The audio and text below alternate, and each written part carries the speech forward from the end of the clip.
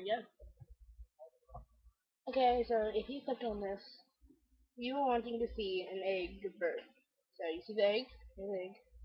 Let's take the knife. See the knife? And poke a hole in it. Poke a hole right there. Oh I'm gonna do this.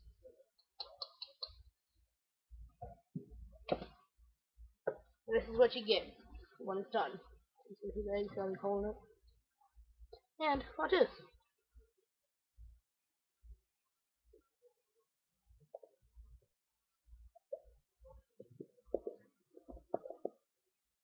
Don't come out. You take the knife. See? It came out. There you go. And, you see, it's a water bird. That's the water bird for me, you know? I was just playing with my eggs.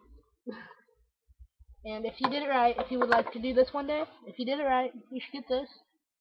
You can hold. Yeah, still an egg. Just got a hole in it.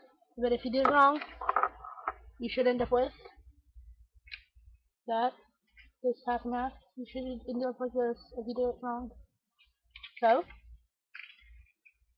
right, wrong, right, wrong. Okay, bye bye.